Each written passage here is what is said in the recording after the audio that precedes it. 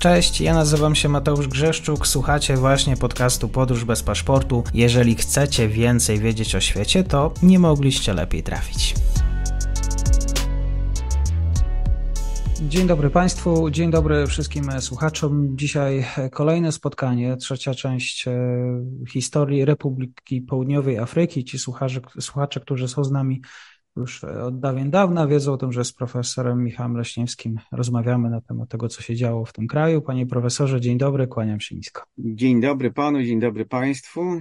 No i zakończyliśmy y, w tym momencie nasze poprzednie spotkanie o tym pierwszych właściwie wolnych wyborów, do pierwszych wolnych wyborów w Republice Południowej Afryki, które odbyły się w 1994 roku. W tym, w tym głosowaniu po raz pierwszy głosowali y, czarnoskórzy, 75% y, ludności. Partia Nelsona Mandeli, ruch, który doprowadził do upadku ustroju apartheidu, wygrał E, wygrał te wybory, no i sprawowali niepodzielną władzę. E, to jest, e, pamięta pan, obserwował pan profesor akurat to, co się działo 90 No, obserwowałem, miałem wtedy te 18, już więcej niż 18, kurczę, to już jest ile? 28 lat temu, prawda, więc już jest długi czas, więc nie powiem, że wszystko pamiętam, ale oczywiście obserwowałem to wtedy. Ja od razu powiem, znaczy, bo to jest takie, znaczy to, co pan powiedział w zajawce, to jest oczywiście zasadniczo prawda, ale trzeba pamiętać, ja nie pamiętam, czy o tym mówiłem przy na naszym ostatnim spotkaniu, e, że tak naprawdę to zdanie władzy, upadek apartheidu były wynegocjowane. To znaczy nie jest tak, że Afrykański Kongres Narodowy wywalczył. Nie? To jest taki skrót myślowy, który używamy. Afrykański Kongres Narodowy nie wywalczył tego. Powiedzmy sobie wprost. Nie? E, ja wiem, że dzisiaj polityczna poprawność nakazuje mówić, co nakazuje. Ja nie umniejszam zasług Afrykańskiego Kongresu Narodowego. Chociaż trzeba pamiętać, że tak naprawdę Afrykański Kongres Narodowy na terenie samej południowej Afryki w latach 80. był kompletnie rozbity. Tak naprawdę to, co działało, to były związki zawodowe i organizacje, które używały sztandaru Afrykańskiego Kongresu Narodowego, ale niekoniecznie wcale były z nim powiązane. To jest na przykład sprawa Chrisa Haniego, przywódcy związków zawodowych, który tak naprawdę on wyrósł w samej południowej Afryce na przywódcę opozycji paradoksalnie, e, jeżeli ktoś wywalczył, to bardziej on niż ktokolwiek z Afrykańskiego Kongresu Narodowego. Specjalnie nie mówię o Nelsonie Mandeli, bo to jest postać, o której pewnie będziemy zaraz mówić, więc zostawmy go na chwilę na boku. Natomiast ja pamiętam, jest taka książka, niestety nietłumaczona na język polski, takiego dzisiaj już bardzo sędziwego historyka afrykanerskiego Hermana Hiliome, E, który e, ogólnie należał do tej młodej, wtedy młodej generacji, czy właściwie średniej generacji Afry intelektualistów afrykanerskich, którzy od lat 70. walczyli może za duże słowo, no ale przekonywali, że system apartheidu jest bez sensu. E, I on, pamiętam w swojej książce, to jest Afrikaners, a Biography of the Nation, czy People, już nie pamiętam, E, w każdym razie biografia narodu Afrykanerów, e, napisał coś takiego, że właściwie Frederick de Klerk mm, stracił okazję, nie? Stracił szansę na to, żeby przekazać władzę na lepszych warunkach, że wbrew pozorom, bo czasami w takiej narracji jest takie, że właściwie wydaje się, że wszystkie atuty były w ręku Afrykańskiego Kongresu i E, przeciwników apartheidu, a rząd tylko ugiął się, nie? A to jest paradoksalnie nie tak, nie? Więc rząd miał całą masę argumentów i mógł wynegocjować lepsze warunki. E, dlaczego tego nie zrobił? Pff, to jest osobna kwestia, którą być może kiedyś się dowiemy, nie wiem. E, być może uwierzył w dobrą wolę, ja nawet nie kwestionuję tej dobrej woli czy bał się może za, za bardzo stawiać opór pewnym. Znaczy, o co mi przede wszystkim chodzi? Znaczy, tak naprawdę mm, pamiętam, że Herman Hiliome zwracał na to między innymi uwagę, że ten proces mógł być bardziej rozłożony w czasie, ale także mówił o transformacji państwa w model federalny, nie? żeby zachować, żeby nie zachować, bo Południowa Afryka nigdy od 1910 nie była państwem federalnym, była państwem unitarnym z pewnymi elementami ustroju federalnego. Natomiast on mógł bo były takie tendencje, że przekształcić prowincję, no po prostu południową Afrykę w klasyczne państwo federalne. Nie? Też by pewnie wtedy historia trochę inaczej się potoczyła. Z takich czy innych powodów na Partia Narodowa, myślę, że także dlatego, że była przywiązana do takiego modelu unitarno autorytarnego. Znaczy, to nie było państwo autorytarne, tak jak my najczęściej to definiujemy, no ale powiedzmy, było to takie państwo z, z silnymi elementami autorytaryzmu. Znaczy, no to długo bym mówić, więc zostawmy, zwłaszcza, że nie to jest tematem. Natomiast ja tu stawiam trochę opór takiej tezie, żeby ANC czy Afrykański Kongres Narodowy wywalczył niepodległość. Nie, on ją wynegocjował e, i tyle. INC jak właściwie y, wtedy rozpoczęła kampanię i z jakimi y, hasłami, też nazwijmy takimi gospodarczymi, ekonomicznymi, wyszła akurat do, do Afryki? Tak. Mhm. Znaczy dzisiaj oczywiście wielu takich, którzy są strasznymi zwolennikami neoliberalizmu, by krzyczało, że to były hasła libe socjaldemokratyczne, czy, socjalde, czy socjalistyczne, czy wręcz marksowskie. E, żeby było jasne, częściowo mieliby rację. Pamiętajmy, że Afrykański Kongres Narod, czy w Afrykańskim Kongresie Narodowym bardzo silną pozycję miała komunistyczna partia Południowej Afryki. E, ANC miało rozliczne powiązania z krajami bloku komunistycznego, ze, zwłaszcza ze Związkiem Radzieckim. E, I ogólnie rzeczywiście było partią, nazwijmy to lewicową. Nie? Później pewnie coś więcej na ten temat powiemy. E, ale to nie jest do końca tak, że mm, znaczy ten program pewnie można by nazwać programem socjaldemokratycznym. E, ja bym raczej nazwał programem, znaczy oni wyszli z hasłami głębokiej transformacji społeczeństwa, e, tego, że no, osiągnęliśmy sukces polityczny, doprowadziliśmy do wyborów, uzyskaliśmy czy uzyskaliśmy w negocjacjach to, że wszyscy obywatele południowej Afryki mają równe prawo wyborcze, czyli mamy e, transformację polityczną, natomiast ich hasłem była transformacja społeczna i ekonomiczna. Nie? To znaczy, e, poza likwidacją Bantustanów i wchłonięciem struktury państwa, to jest także transformacja, znaczy transformacja społeczeństwa, tak, żeby w tym bogactwie kraju partycypowali wszyscy, żeby zlikwidować, nie wiem, sfery biedy, żeby ograniczyć bezrobocie. Mówię, wielu powie, no tak, czysty populizm, w jakimś sensie pewnie tak, natomiast no pamiętajmy, my mówiliśmy o tym w poprzednim programie, że Południowa Afryka w czasach apartheidu to była taka mieszanka kraju pierwszego świata z krajem trzeciego świata. To znaczy, z jednej strony mam, mieliśmy te wielkie centra nowoczesności, nowoczesnej ekonomiki, chociaż też bardzo etatystycznej. Państwo apartheidu było państwem etatystycznym.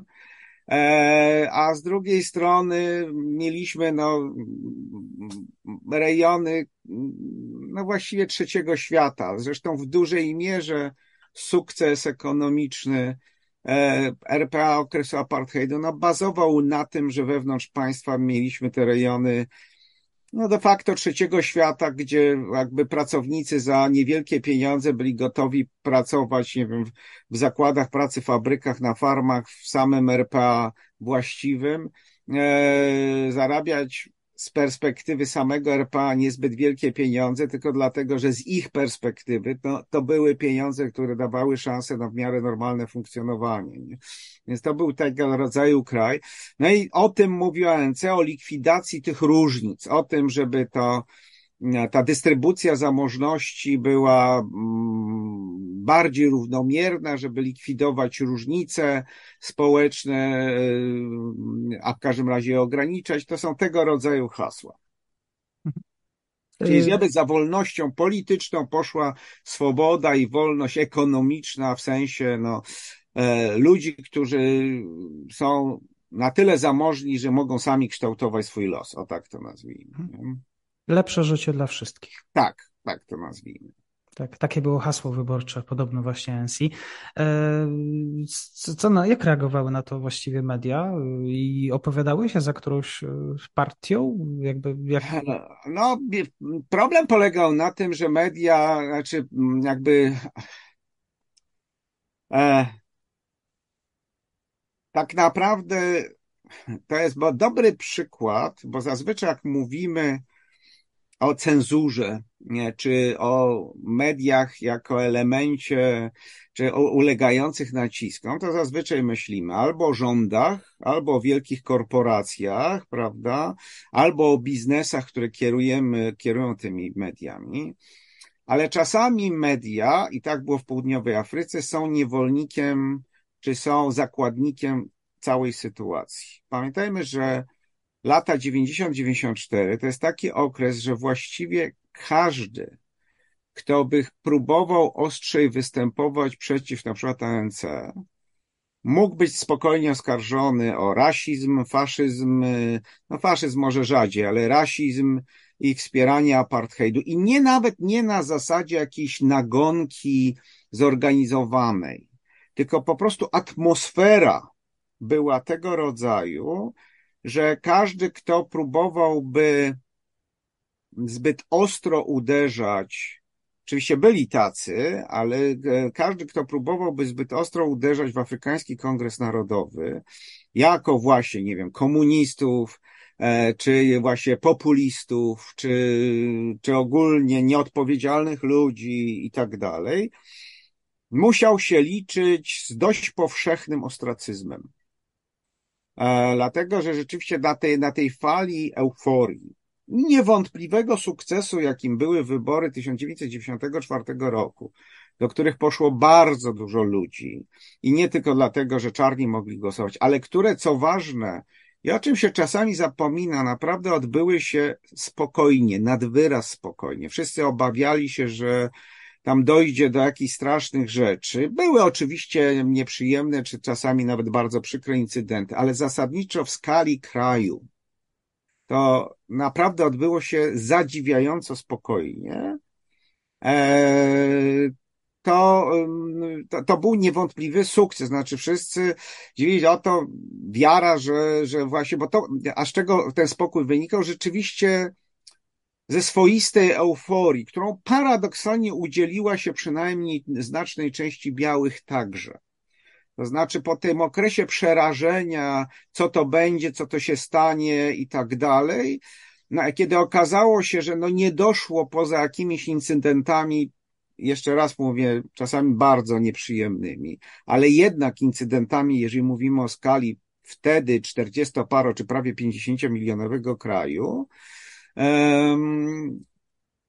to nagle stwierdzili, a może nie będzie tak źle i właściwie nagle nawet w środowiskach białych pojawiło się takie przekonania, może dobrze, że wreszcie to się stało. Trochę tak, że tej zmiany się baliśmy, a jak się dokonało, to, to nie jest tak strasznie, jak, jak się baliśmy, więc e, wybory przebieg, przebiegają, czy jakby cała ta sytuacja przededniu wyborów w latach 92-94 była relatywnie spokojna.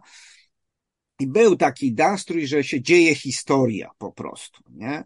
I, I naprawdę każdy, kto by próbował przeciw temu występować, automatycznie był otaczany ostracyzmem. Mhm. I to jest tego rodzaju sytuacja, że czasami media, mm, no w takiej sytuacji strasznie ciężko e, wyjść nawet z przekazem uczciwym, racjonalnym, acz krytycznym, dlatego że nawet najłagodniejszą formę krytyki e, jest skłonność tłumaczenia, no tak, to paskudni rasiści tylko ładne słowa ubierają e, pewne rzeczy, a tak naprawdę chodzi im o to, żeby było jak było. Nie? E, I, I media rzeczywiście zasadniczo nie powiem, że jednostronnie i całkowicie popierały Afrykański Kongres Narodowy, bo to byłaby przesada.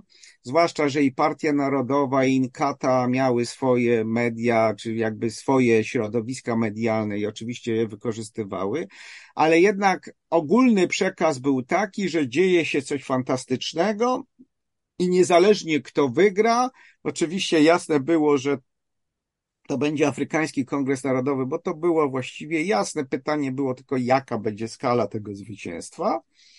E, jasne więc to było, natomiast, y, że to sam, samo przeprowadzenie wyborów to jest wielki sukces, a potem będziemy oceniać. O, tak to nazwijmy. Mhm. Y, skąd właściwie ANC miało fundusze na kampanię? No i to jest, wie pan, to, to jest rzecz, którą być może kiedyś się dowiemy. Nie? Znaczy, to są, to co powiem, to są tylko domniemania, e, za które ambasada RPA może mnie pozwolić do sądu, nie wiem, bo nie są na niczym motywowane, e, opierane. E, po pierwsze pamiętajmy, że to była organizacja, która już miała swoje lata. Miała jednak e, spore wsparcie międzynarodowe. I to pamiętajmy nie tylko Związku Radzieckiego i bloku e, radzieckiego, ale także różnych środowisk na Zachodzie, które z chęcią e, dawały pieniądze na walkę z apartheidem, co było oczywiście zupełnie zrozumiałe. Mm, pamiętajmy, że w obozy e, ANC, które istniały w Tanzanii i w krajach tak zwanych frontowych, E, to nie były tylko instytucje, gdzie byli bojownicy, ale to de facto były całe miasteczka, że gdzie też na przykład opodatkowano tych ludzi i tak dalej, więc było to kolejne źródło dochodu. Kwestią jest, ja to ujmę w formie pytania bardziej niż stwierdzenia, bo nie mam na to żadnych dowodów. Na ile w tą kampanię ANC zaangażowane były wielkie korporacje? I nie jest to takie zupełnie podstawowe, e, jakby bezpodstawne, biorąc pod uwagę, że na przykład szef największej e, korporacji wydobywczej, czy Anglo-American e, Oppenheimer, już od lat 70. ewidentnie flirtował z Afrykańskim Kongresem Narodowym. Wiemy o różnych, to nie jest żadna tajemnica Poliszynela, wiemy o spotkaniach, na forum RPA sam występował głośno za złagodzeniem praw apartheidu, y, zwłaszcza w sferze ekonomicznej. E, ewidentnie e, mm, wspierał e, różne działania, nazwijmy liberalizujące system apartheidu. Spotykał się z różnymi politykami, działaczami, którzy albo wprost, albo pośrednio byli związani z Afrykańskim Kongresem Narodowym. E, no a jednocześnie jako szef naprawdę gigantycznej korporacji, e, wtedy, nie wiem jak dzisiaj, ale wtedy dominującej na rynku złota i diamentów, no dysponował olbrzymimi środkami. Nie? I, I to jest pytanie. Pamiętajmy, że e, transformacją zaniepokojeni nie byli tylko zwykli szarzy biali i nie tylko biali obywatele RPA, bo to ten lęk przed transformacją nie dotyczył tylko białych, żeby było jasne. Nie? E, ale także, nazwijmy zaniepokojone, były wielkie korporacje, e, zwłaszcza górnicze, monopolizujące wydobycie złota, diamentów, ale nie tylko złota. Pamiętajmy, że coraz ważniejszy był uran, e, platyna, tak, i, i inne surowce. Tam rzeczywiście te zasoby były i są cały czas olbrzymie. E, I oni też się bali, co z tego będzie, więc e, przykład Oppenheimera wskazuje, że wielkie korporacje pewnie jeszcze na długo przed wyborami 94 roku, mówię o Oppenheimerze wiemy na pewno, bo, bo po prostu wiemy, znaczy są na to dowody, dokumenty, jest to opisane w literaturze, Natomiast inni można się domyślać, nie mam tu aż takiej wiedzy, że gdzieś tam najpóźniej w latach 80., kiedy naprawdę dla każdego stało się jasne, że pytanie jest nie czy apartheid upadnie, tylko kiedy i w jaki sposób. Nie? To było pytanie. Ja zresztą mówiłem na poprzednim, w poprzednim spotkaniu, że tak naprawdę to już w latach 70. kręgach na Partii Narodowej była podjęta decyzja o, mm, o stopniowym demontażu apartheidu. Zresztą cały kazus Namibii i tego, co zrobiono w Namibii był moim zdaniem swoistym testem, czy da się to zrobić w sposób pokojowy nie? i taki, żeby nikt na tym specjalnie nie ucierpiał. Nie? Więc myślę, że najpóźniej w latach 80. przedstawiciele różnych korporacji byli w kontakcie z e, Afrykańskim Kongresem Narodowym. Wiemy, że musieli w samym RPA negocjować z naprawdę potężnymi związkami zawodowymi, które właśnie pod przywództwem Chrisa Haniego.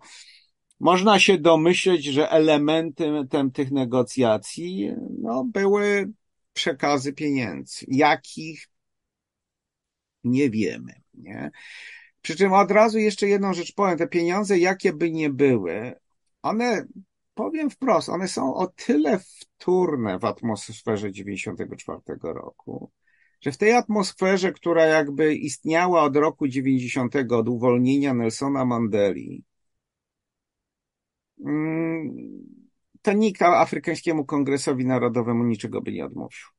To, to była taka sytuacja, że nawet gdyby Afrykański Kongres nie miał środków, to za darmo by mu dawali, nie? Bo, bo to była taka atmosfera w samej południowej Afryce i ogólnie na świecie. E, pamiętajmy, Nelson Mandela w tych latach miał status niemal Mahatmy Gandiego. Nie? To był symbol, żywy pomnik, status, no mówię, status porównywalny z Mahatmą Gandim, który nie miał pieniędzy, a, a przynajmniej nic o tym nie wiemy, a zorganizował wielki ruch, no bo miał olbrzymią charyzmę, prawda?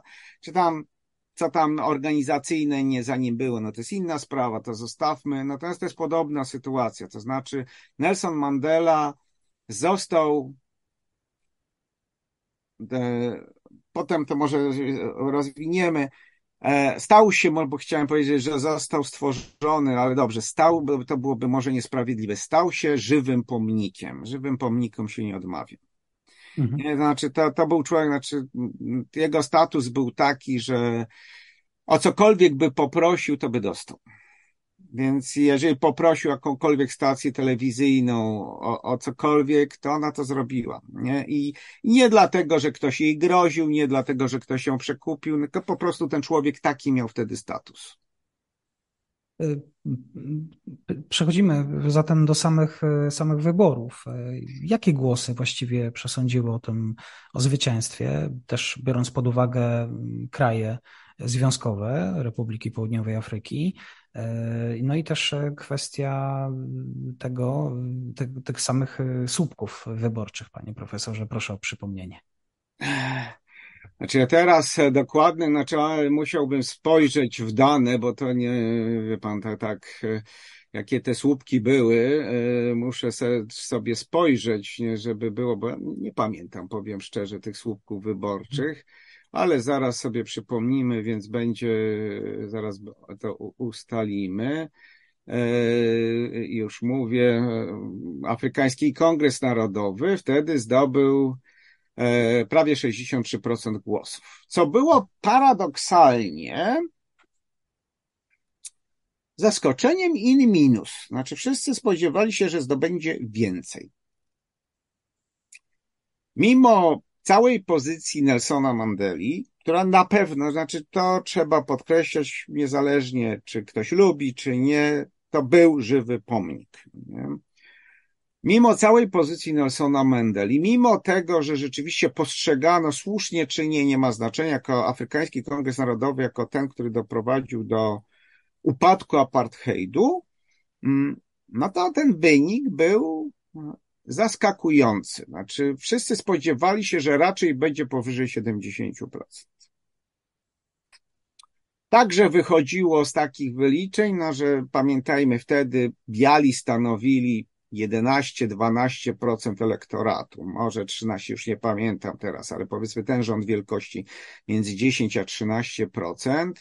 Eee, koloredzi stanowili wtedy mniej więcej około 6-7%. Hindusi to było jakieś 2-3%, nie? Czyli wszystkie grupy nie czarne, byśmy powiedzieli, to razem było około 20%, nie? E, I owszem, zakładano, że jakaś część czarnej populacji niekoniecznie zagłosuje na e, Afrykański Kongres Narodowy, no ale jak to wszystko złożymy, no to te 70-72% powinni dostać, nie? a dostali mniej. I teraz tak, bo pan zapytał się, co złożyło się na sukces, czyli zacznijmy najpierw od sukcesu. Znaczy, ja nie wiem, czy tu można mówić, co złożyło się. Znaczy, to było oczywiste, że Afrykański Kongres Narodowy wygra. Znaczy, w sytuacji w pewnym sensie zero-jedynkowej. To była bardzo podobna sytuacja do tego, co było 4 czerwca 1989 roku. Znaczy, zwłaszcza trochę ex post, bo przed to mieliśmy pewne obawy. Natomiast właściwie ex post, jak się okazało, że w Senacie 99 na 100 miejsc zdobyła Solidarność, to, a w wyborach do parlamentu obsadziła wszystko, co mogła obsadzić, czy akcja wyborcza wtedy Solidarność, to właściwie wszyscy, dla wszystkich było jasne. W Senacie raczej zaskoczeniem był ten jeden Henryk Stokłosa, niż to, że, że 99 miejsc zdobyła, mm, e, zdobyła Solidarność. To znaczy w pewnej atmosferze, która istniała, która była nakręcana także medialnie, w latach 1990-94, a która była pochodną w ogóle sytuacji lat 80. Pamiętajmy, e, RPA e, od schyłku lat 70. naprawdę borykało się z dużym kryzysem gospodarczym.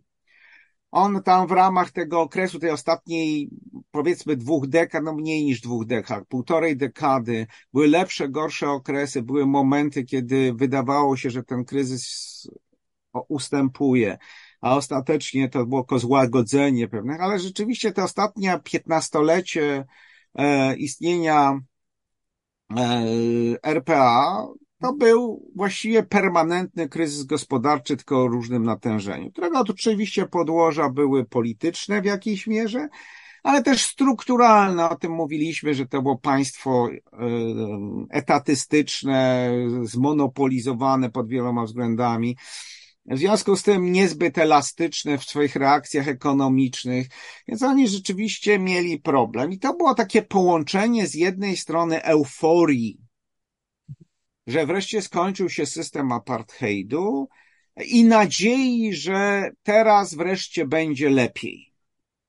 Tu nie ma żadnych konkretnych haseł ekonomicznych czy innych, które były kluczowe. Kluczowe były emocje emocja tego okresu była taka, że oto kończy się straszny czas apartheidu, 46 lat, prawda?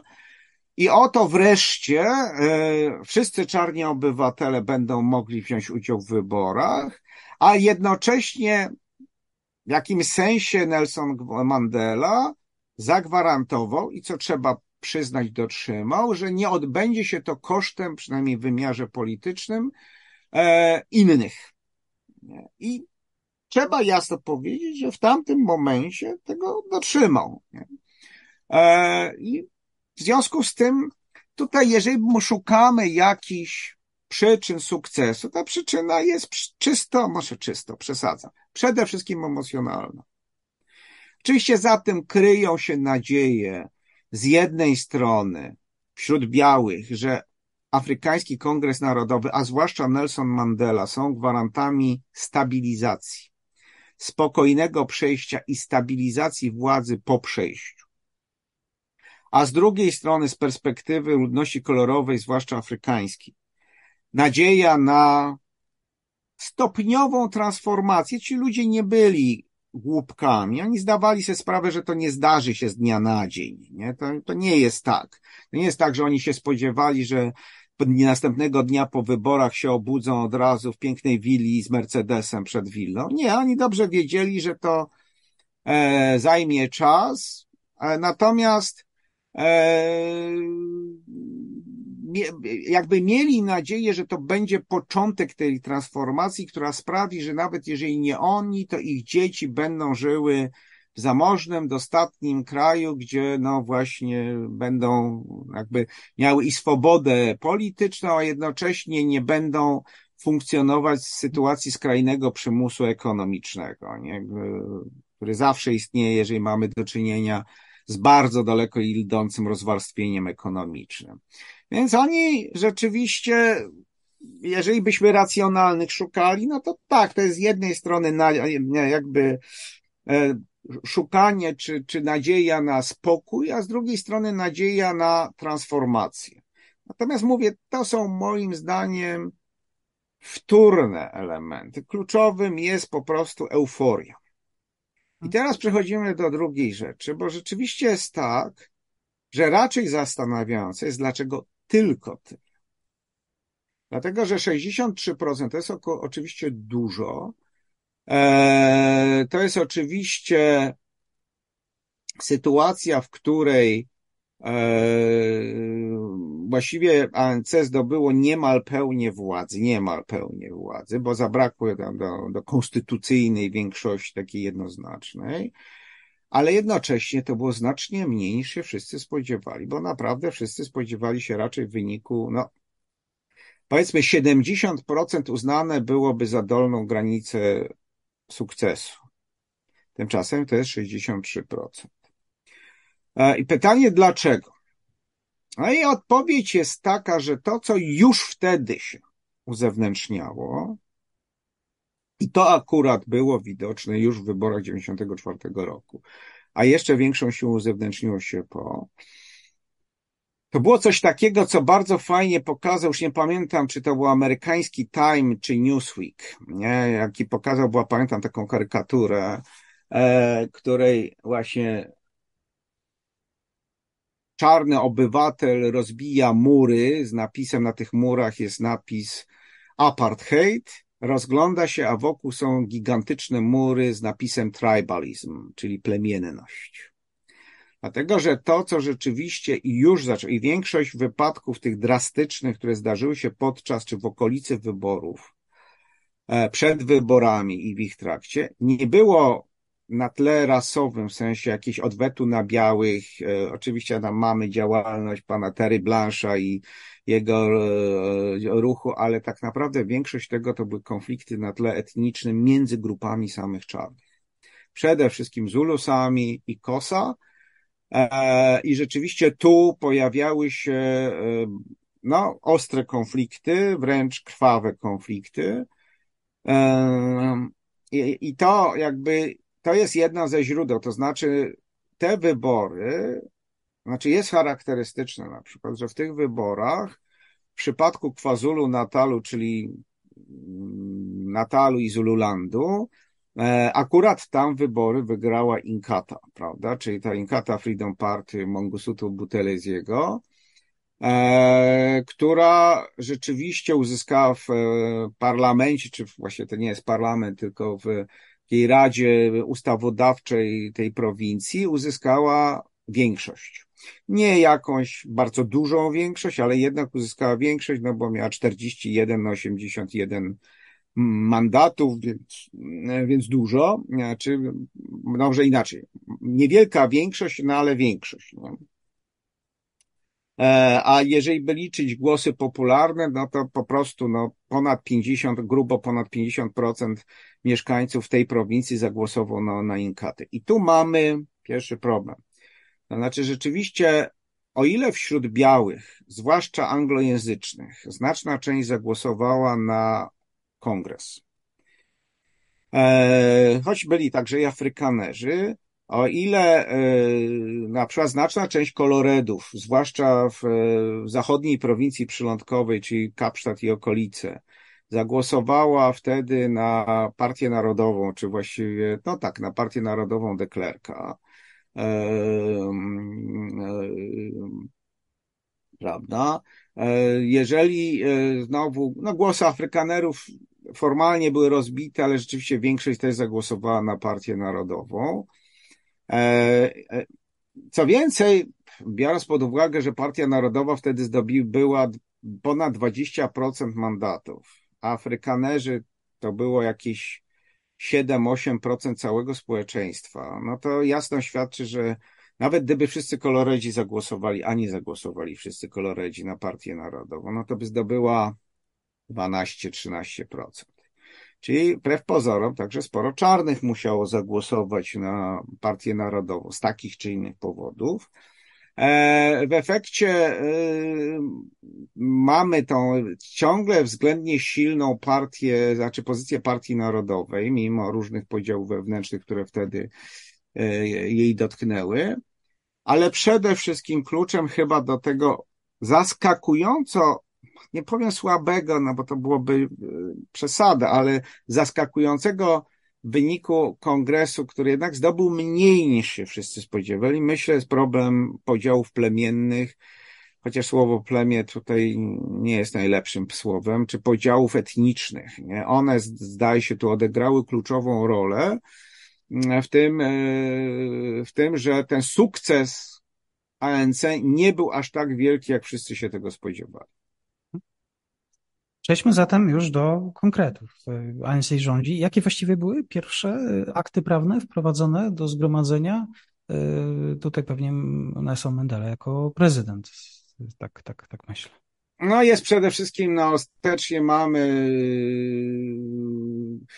e, nazwijmy to, pamiętajmy, że Nelson Mandela pierwsza rzecz, którą tworzy i to jest jego taka wizja, nie wiem, próby zarządzania tym państwem, no to jest tworzenie rządu jedności narodowej. Nie? W tego rządu wejdzie tak ANC, jak i Inkata, jak i e, Partia Narodowa. Nie? To znaczy stworzenie mm, takiego rządu, który właśnie w sytuacji, kiedy to napięcie etniczne, no, zwłaszcza między społecznościami czarnymi było bardzo widoczne, no to y, było istotne, żeby, żeby złagodzić to napięcie, czyli podzielić się częściowo władzą. To jest, zresztą trzeba sobie jasno powiedzieć, że to jest, e, jakbyśmy nie w przyszłości nie oceniali Nelsona Mandeli, to jest jego mm, wielka zasługa, a tak to nazwijmy, zastanawiałem się, jakiego słowa użyć. Wielka zasługa, żeby przynajmniej w tej pierwszej kadencji, czyli latach 94-99, spróbować zbudować e, jedność ponad podziałami. I jak się wydaje, sam Nelson Mandela, pamiętajmy już wtedy mocno starszy człowiek, e, naprawdę w to wierzył.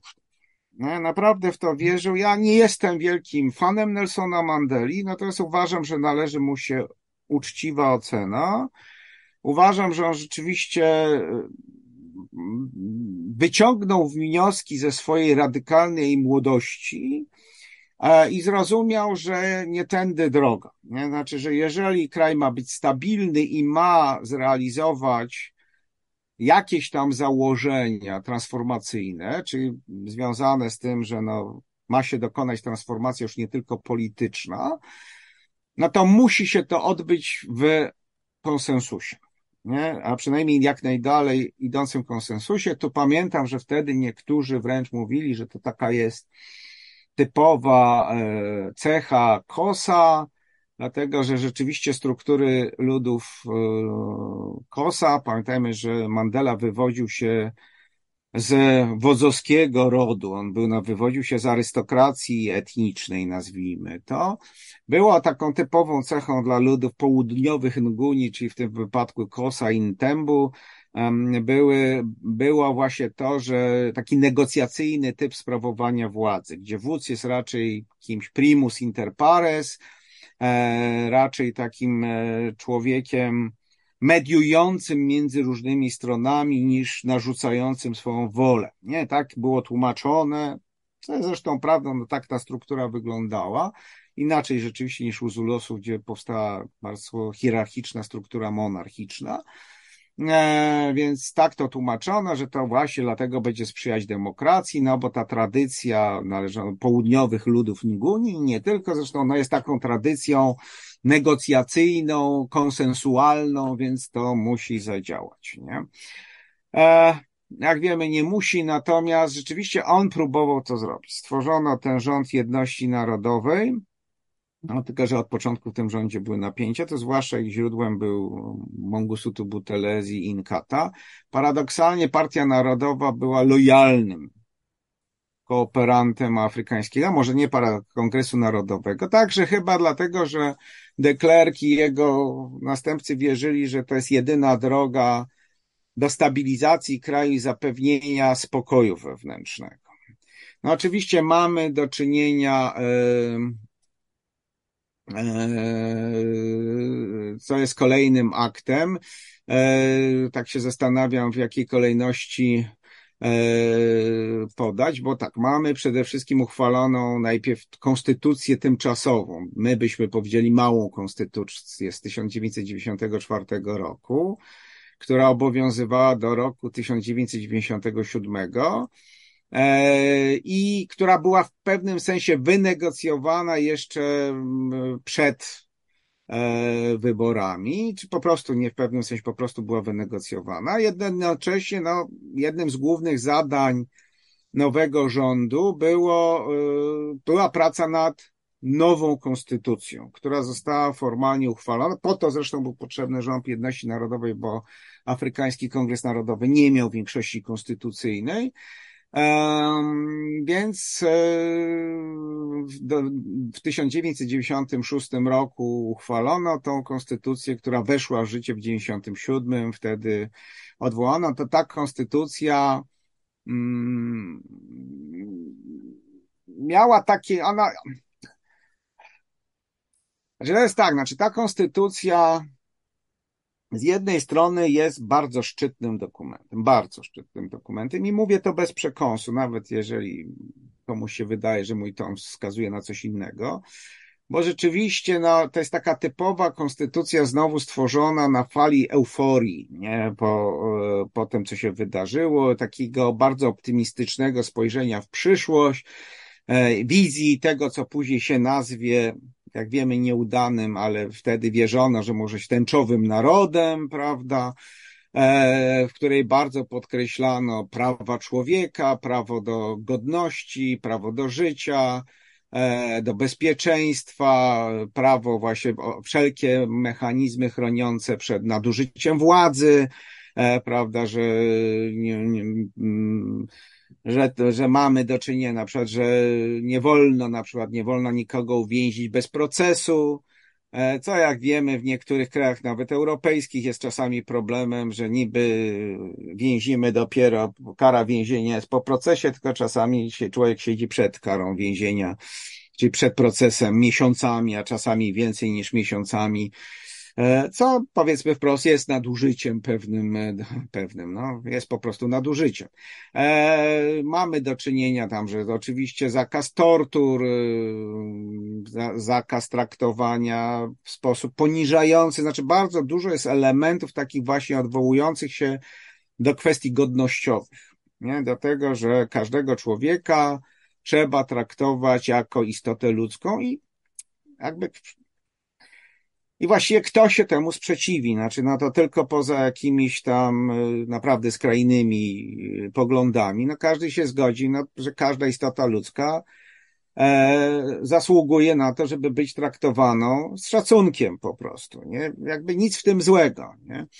E, jest bardzo dużo miejsca, bardzo dużo miejsca w tej konstytucji jest poświęcone temu, tym kwestiom. Nawet bym powiedział, no to źle zabrzmi, że za dużo, znaczy nieproporcjonalnie dużo miejsca jest poświęcone temu, co nie jest dziwne, biorąc pod uwagę, że jakbyśmy nie oceniali okresu apartheidu, no a jak wiadomo, no z mojej rozmowy poprzedniej, ja nie jestem z tych, którzy apartheid krytykują w czambu, że to ten, ten natomiast jakbyśmy nie traktowali okresu apartheidu, jakbyśmy nie traktowali pewnego bilansu i tak dalej, no to nie oszukujmy się, w okresie apartheidu, no jest tak, że ludność kolorowa, zwłaszcza czarna, była traktowana jako ktoś ewidentnie gorszy, nie? I kto spotykał się, może nie, nie zawsze na co dzień, ale jednak spotykał się dość często w swoim życiu z poniżającym traktowaniem. E, czy to z, po, ze strony organów władzy, czy w innych sytuacjach. Więc jakby trudno się dziwić, że bardzo zwracano uwagę na to, żeby w Konstytucji zawrzeć te wszystkie elementy godnościowe. Jak ja powiedziałem, być może nieproporcjonalnie dużo miejsca temu poświęcano. Z drugiej strony, no ta konstytucja gwarantowała no, cały szereg wolności, no, które też uznajemy w każdym normalnym kraju za oczywiste. Nie? Więc też trudno tu się dziwić. E, ona wreszcie no, wygłaszała postulat prawa do edukacji, który paradoksalnie był zgodny z tym, co zresztą system apartheidu zaczął wprowadzać na przełomie lat 60., 70., kiedy zrozumiał, że no nie da się tego systemu utrzymywać w nieskończoność i sam zaczął wykładać coraz większe pieniądze na, dla edukacji dla ludności kolorowej, zdając sobie sprawę, że jeżeli ma oddać jej władzę, to ona musi być do tej władzy w jakikolwiek sposób przygotowana. Nie? A no, trudno oddać władzę osobom kompletnie nieprzygotowanym, a jeżeli ktoś miał jakieś wątpliwości, to przykład, widział przykład Konga belgijskiego, od razu wiedział, czym się to kończy. Nie? Więc E, więc było dość przykładów wskazujących. Więc rzeczywiście no jest to prawo do edukacji, prawo do opieki zdrowotnej i tak dalej. To wszystko, e, wszystko jest zawarte. Co jest charakterystyczne w tej konstytucji, nie ma opieki socjalnej takiej wprost. Znaczy jest oczywiście prawo do opieki zdrowotnej, ale konstytucja na przykład nie gwarantuje zasiłków czy tym podobne rzeczy. Tego nie było. Dlaczego? Dlatego, że w sytuacji kryzysu cały czas, nie powiem pogłębiającego się, bo akurat lata 90. były takim krótkim momentem, kiedy wydawało się, że RP odbije się od dna i będzie lepiej, ale jednak na ta scheda kryzysu lat 80. bardzo ciężko spoczywała na e, południowej Afryce, na, na, na sytuacji południowoafrykańskiej, po prostu państwo nie udźwignęłoby e, systemu opieki e, socjalnej takiego rozbudowanego w stylu europejskim, nazwijmy. Ja już nie mówię szwedzkim czy skandynawskim, ale takiego modelu nawet, nie wiem, brytyjskiego czy, czy włoskiego, prawda, nie wiem. Po prostu nie dało rady, by finansowo tego udźwignąć. Więc tego nie ma, nie? A także z ciekawostek. A nas jest właśnie bardzo podkreślana kooperatywność e, rządu, że właśnie to chodzi o to, że rząd, że rządy, znaczy właśnie na każdym poziomie rządy powinny być konsensualne, nie? odbywać się na zasadzie konsensusu.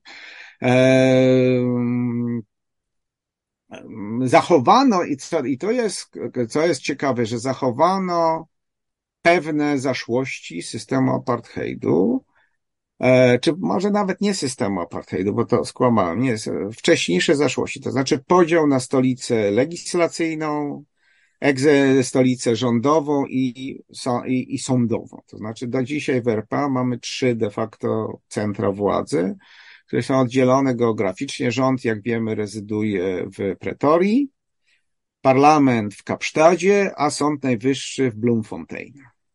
I to jest, i to jest akurat kontynuacja tego, co uchwalono jeszcze w 1910 roku. Tutaj tego nie zmieniono. Drugą kontynuacją jest kwestia prowincji. Z jednej strony dokonano nowego podziału kraju i żeby było jasne z punktu widzenia etniczno-geograficznego, czy nawet w jakimś sensie ekonomicznego, ten podział był bardziej sensowny.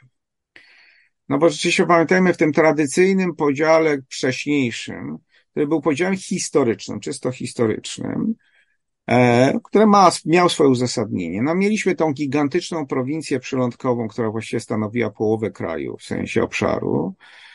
I później mieliśmy Transwal, Oranie i Natal, plus e, Bantustany, ale to była osobna struktura.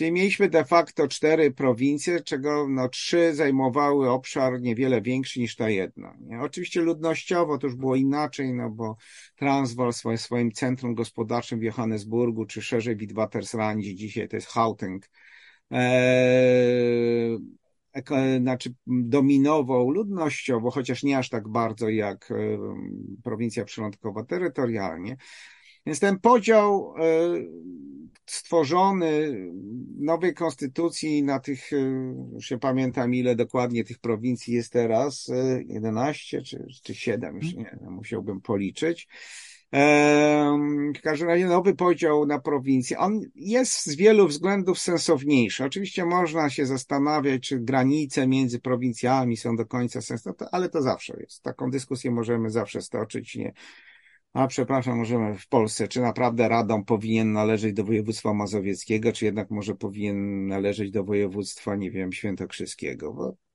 to jest, jakby można stoczyć taką dyskusję, nie wiem czy nie wiem, Koszalin powinien być w zachodniopomorskim, czy powinien być. No, zawsze taką dyskusję można stoczyć i zawsze taka dyskusja ma jakieś tam uzasadnienie, nie mówię tego deprecjonująco, natomiast y, to zawsze jest jakiś tam problem. Natomiast sam podział na prowincje, czy zmiana granic, czy zwiększenie ilości tych prowincji, bo jest ich teraz, znacznie więcej, e, to było zrozumiałe i tak naprawdę ten podział pod wieloma względami jest bardziej racjonalny. Natomiast nie wykorzystano szansy, i ten, a ten wątek pojawiał się w dyskusjach konstytucyjnych na przekształcenie ustrojów federalistycznych.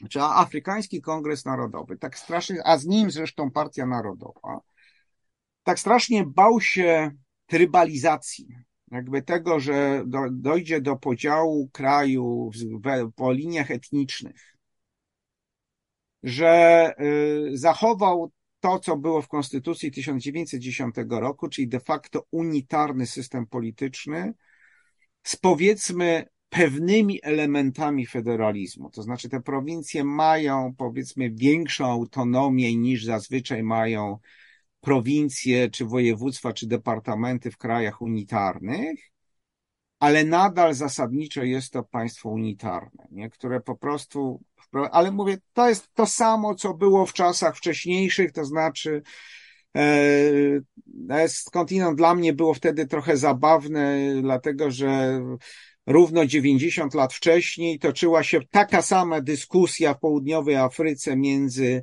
E, wtedy czterema koloniami o to, czy ustrój związku ma być federalny czy unitarny. Dokładnie taka sama i, i najśmieszniejsze, aż argumentów używano też bardzo podobnych.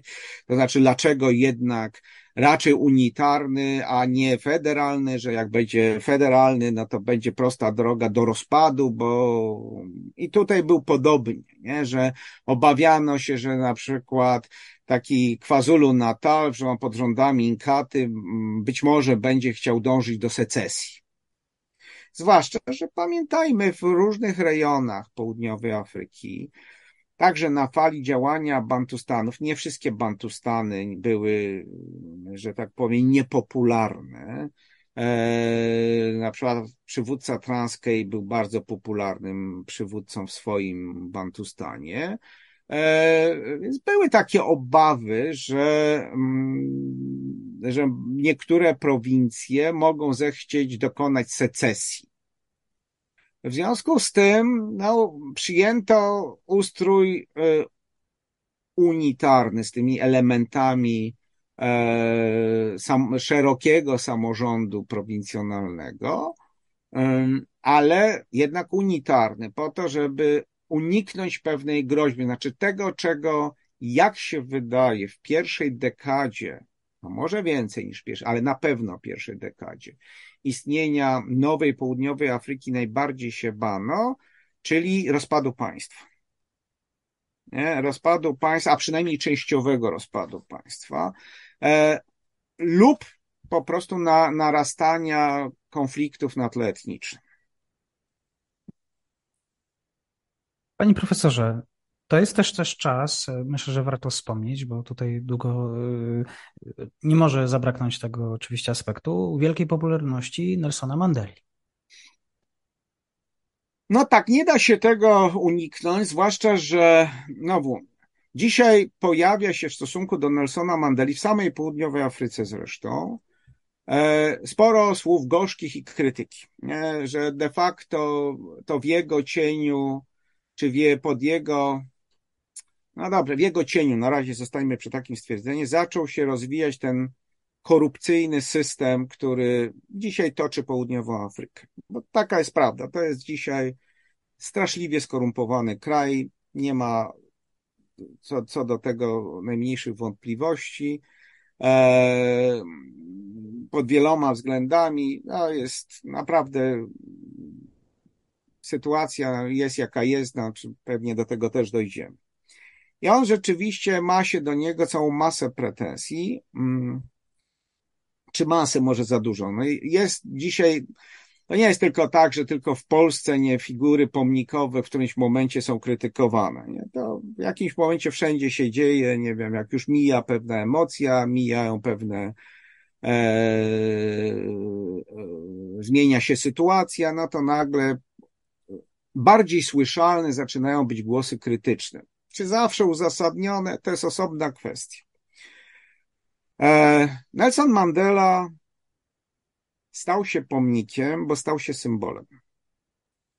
Paradoksalnie największy sukces, Nelson Mandela uzyskał wtedy, kiedy był uwięziony. Nie? To znaczy Nelson Mandela przed uwięzieniem był jednym z wielu, wcale nie najbardziej znanych przywódców, co więcej, należał raczej do tej młodej, takiej bardzo hop do przodu, agresywnej, może za mocne słowo, ale takiej radykalnej grupy działaczy. E, I nie był koniecznie, znaczy on był jednym z przywódców ruchu. Nie? Natomiast rzeczywiście e, jego okres więzienia i hasła, hasło, które się w pewnym momencie staje takim mottem różnych spotkań uwolnić Mandelę, nie? E, on stał się w ta, wtedy, w tym okresie uwięzienia, czy stopniowo zaczął, zwłaszcza po 76 roku, coraz bardziej stawać takim symbolem. Nie człowiekiem, nie istotą, tylko symbolem. Nie? Symbolem, który stanowił pewien punkt odniesienia jako że nie był politykiem uwikłanym w codzienną politykę, no bo nie mógł być, siedział w więzieniu, no więc nie, nie obciążały go różne niefajne rzeczy, a pamiętajmy w kongresie w latach 70., 80. działy się bardzo niefajne rzeczy. Tam psy pod dywanem się gryzły na całego, że tak powiem, no do tego stopnia, że jest podejrzenie, że no, na przykład atak wojsk na RPA na jeden z obozów południowej Angolii był de facto zainicjowany, no, znaczy był skutkiem przecieku, nazwijmy to.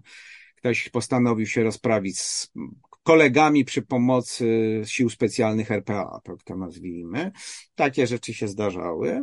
Natomiast jego nic nie obciążało, no bo tak, można było mu zarzucić młodość gniewną i burzliwą, no ale wiadomo, młodość jest gniewna i burzliwa, to jak wiemy, już Churchill mówił, że kto w młodości nie był radykałem, nie, i tak dalej. On co prawda mówi o socjalizmie, no ale dobra, nie wiemy o co chodzi. Nie? E, rzeczywiście jakby to było takie składane na karp grzechów młodości, które nie, każdemu się zdarzają. Nie? Radykalizm może przybierać różną postać. E, tak czy inaczej, e, a potem był już tylko w więzieniu. I to jest jedna z więc on nic, nic nie był umaczany, nic go nie ten, więc był bardzo wygodnym symbolem. Po drugie, to co trzeba, żeby nie było tak, że to tylko bezwolna istota, kukiełka i tak dalej, bo taką nie był. On rzeczywiście, to trzeba mu oddać, wykorzystał okres pobytu w więzieniu, zwłaszcza ten drugi okres, czyli już lat 80., kiedy złagodzono reżim jego pobytu i mógł wiele więcej, na samoedukację.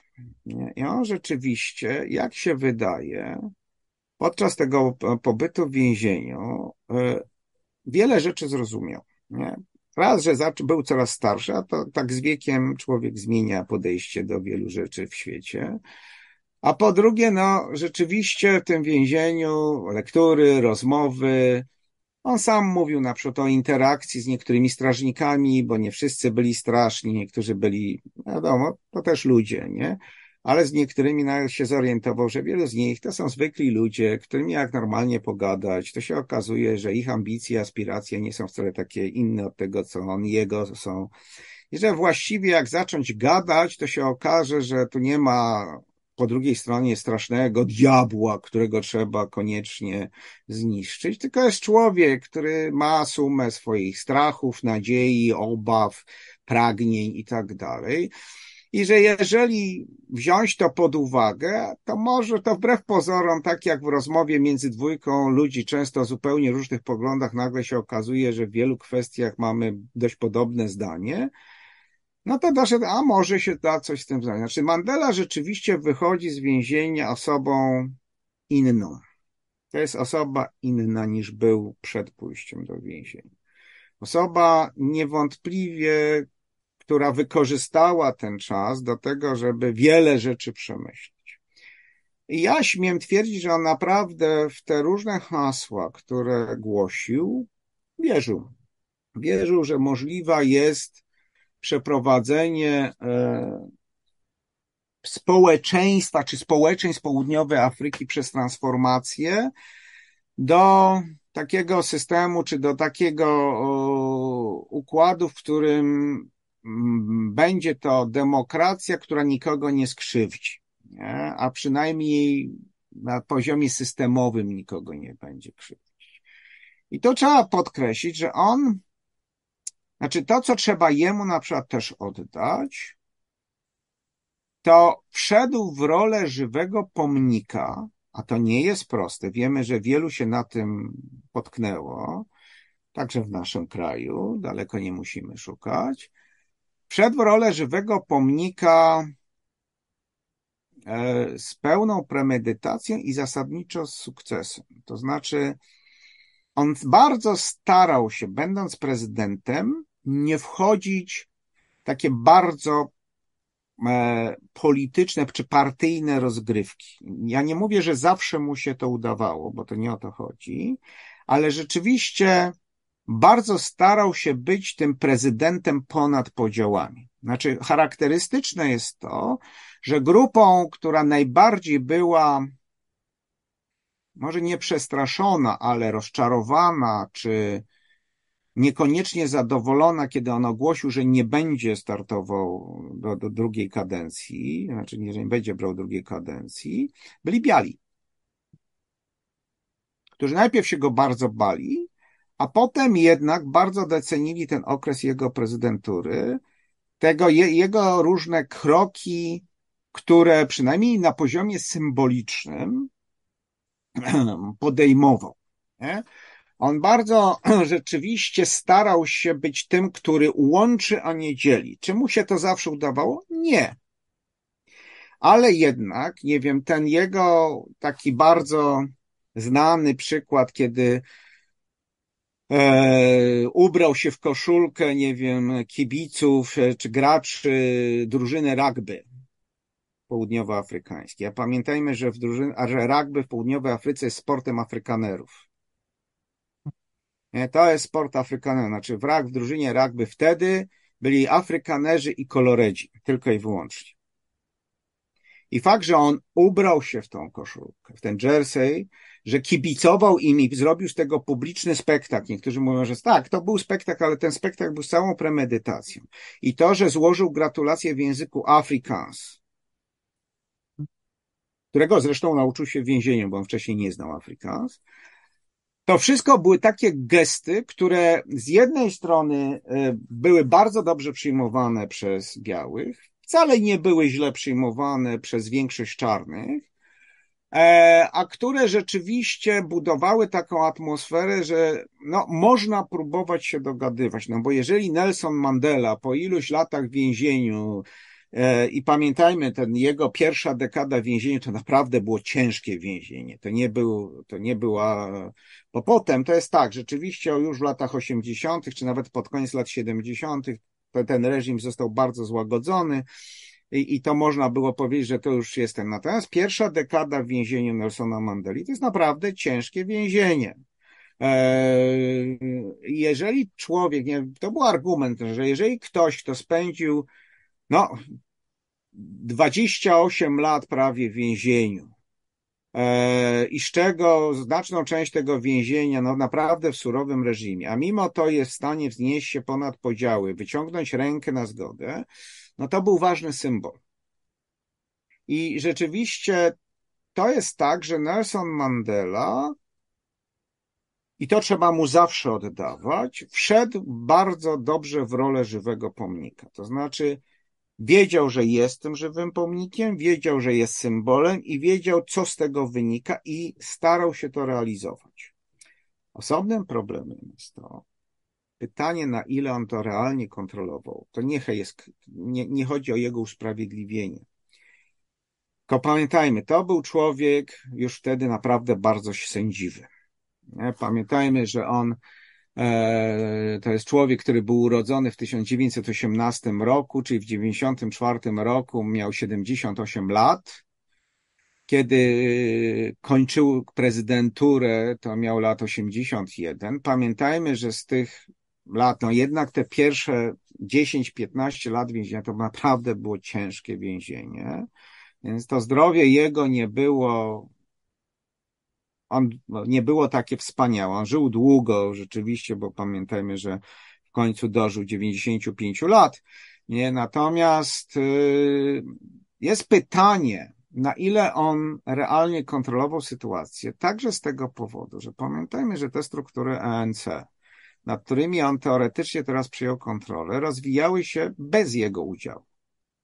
To była grupa ludzi, no, będzie ta Bombeki, Zuma i jakby ci, Cyril Ramparosa, dzisiejszy prezydent, nie, i tak dalej. To była grupa ludzi, która owszem używała Nelsona Mandeli jako symbolu, ale która z nim tak naprawdę wiele wspólnego nie miała, która tworzyła własne układy, własne koneksje, własne porozumienia, własne jakieś tam, no, typowe rzeczy, które dzieją się w polityce i nagle przyszedł z więzienia facet, no i co, każdy wierzy, że on był w stanie zapanować nad tym układem w stu procentach?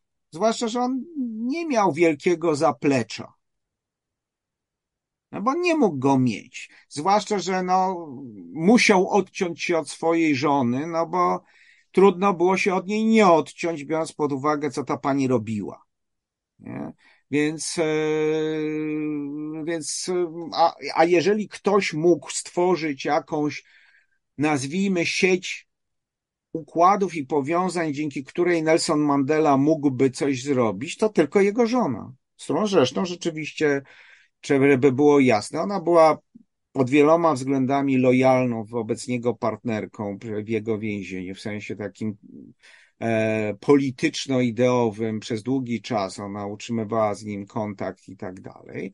E, natomiast no, wiemy, że była osobą zdemoralizowaną bardzo daleko, która, no, której władza uderzyła do głowy. To nie jest taki rzadki przypadek. E, i która, no wiemy, w tej swojej demoralizacji no, posunęła się na tyle daleko, że, że nie dało jej się obronić w żaden sposób, nie? Więc e, zresztą to też, ten proces jej też był trochę, miał, miał być taki pokazać, że nie ma e, świętych krów, nie, że każdy, nawet żona Mandeli może spotkać ją coś, e, kara za realne przestępstwo. To jest osobna kwestia. Ale mi chodzi tutaj teraz o to, że Mandela był symbolem, był pomnikiem, wszedł w tą rolę w stu procentach i bardzo, zasadniczo bardzo dobrze wszedł w tą rolę. Natomiast czy on kontrolował aparat partyjny? No to jest pytanie. Ja, moim zdaniem, nie za, nie za bardzo. I rzeczywiście w jego cieniu, pod jego skrzydłami, ci ludzie znaczy zaczęli tworzyć taki, znaczy zaczęli robić to, to znowu pewnie nie jest bardzo zaskakujące, e, biorąc pod uwagę sytuację, zaczęli uwłaszczać się na władzy. Zaczęli tworzyć system e, nie chcę mówić kleptokratyczny, bo to może byłaby przesada, chociaż może nie. E, ale po prostu no, korupcja polityczna zaczęła się rozwijać i nie tylko polityczna na olbrzymią skalę.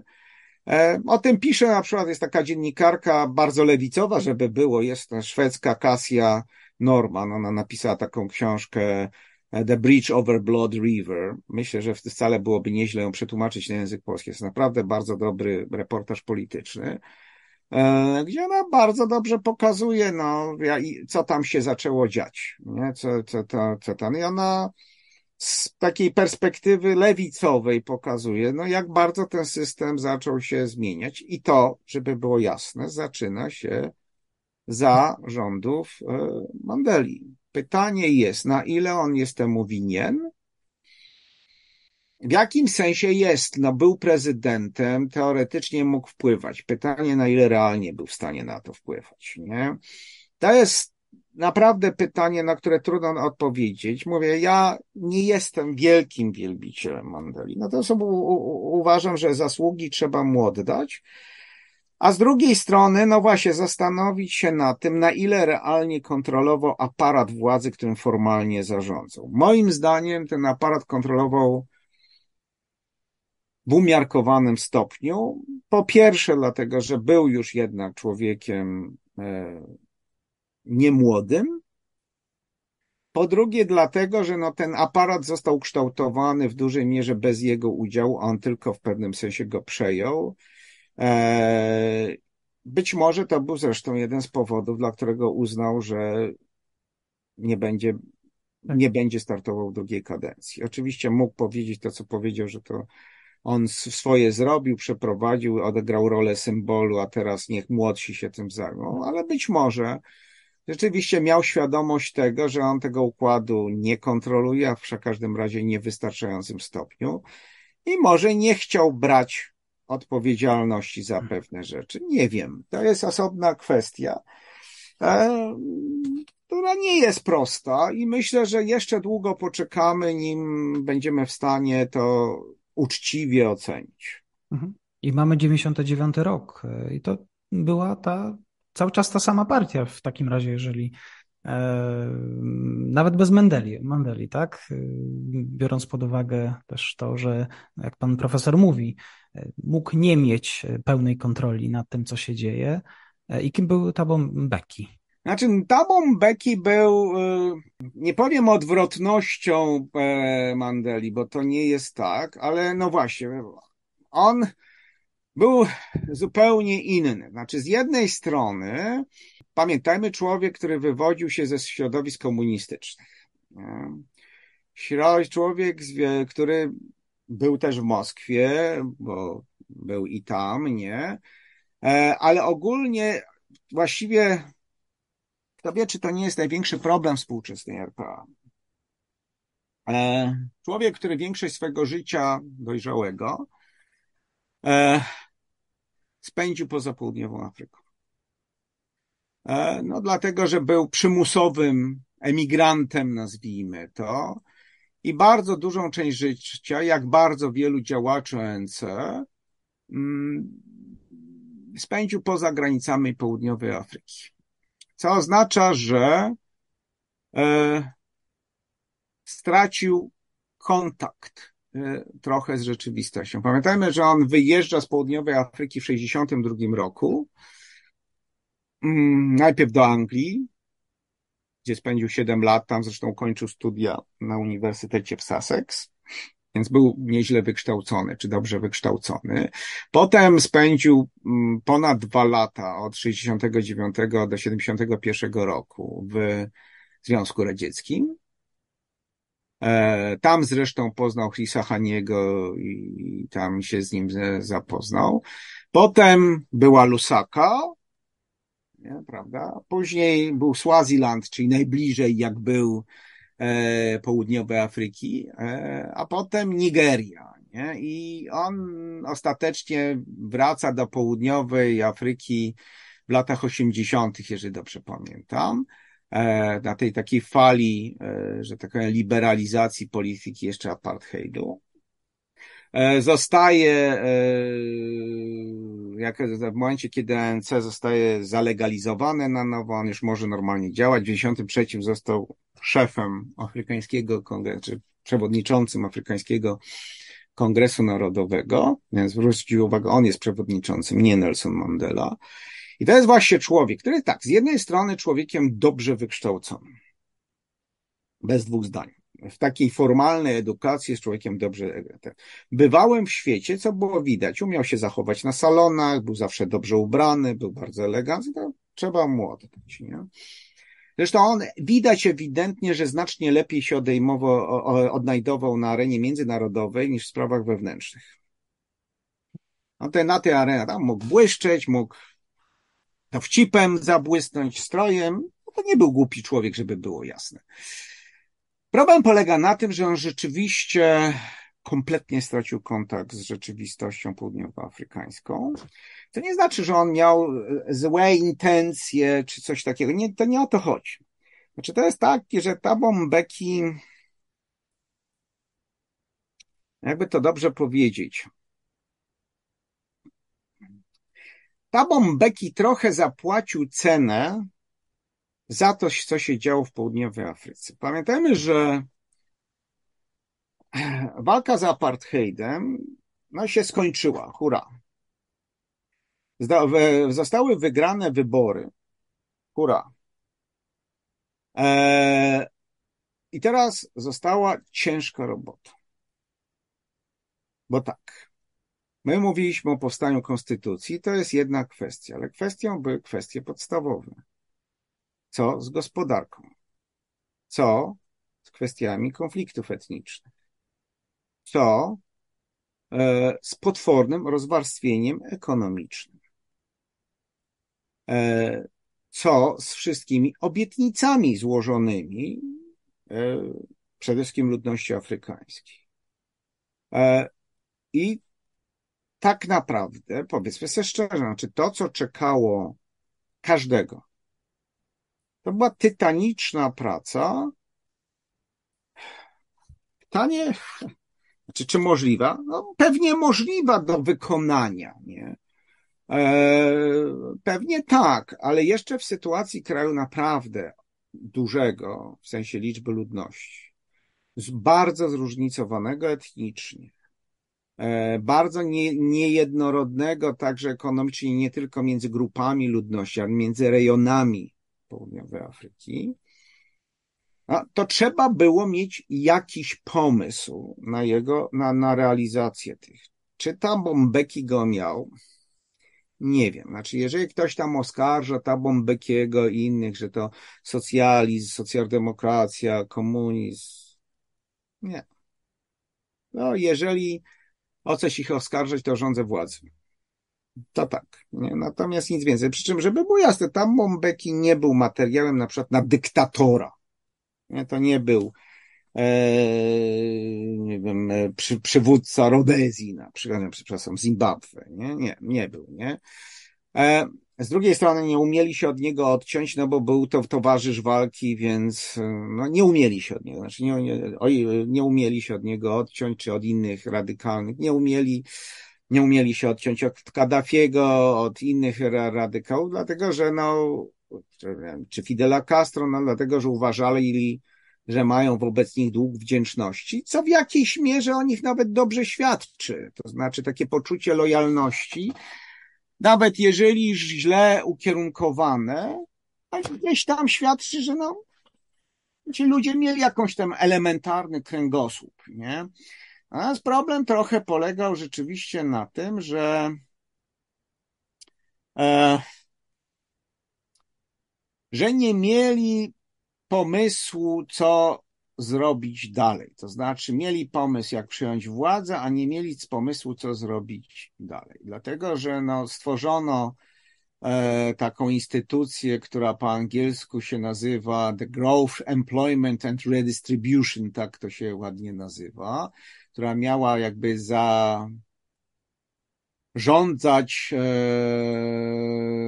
zarządzać, że tak powiem, transformacją. Problem polegał na tym, że wszystko to robiono w takim duchu etatystyczno-socjalnym. Znaczy, nie było pomysłu na przykład na uwolnienie gospodarki. Strasznie się tego bano,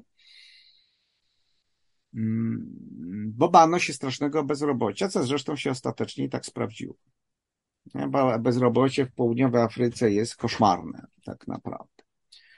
E, więc to było taki pomysł bardzo etastystyczny,